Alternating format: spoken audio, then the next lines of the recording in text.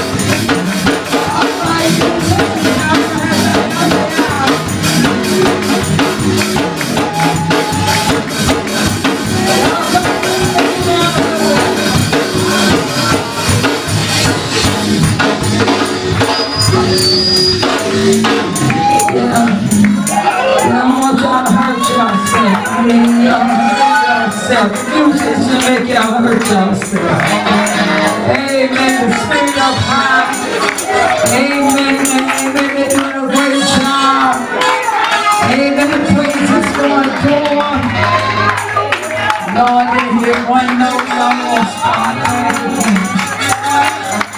I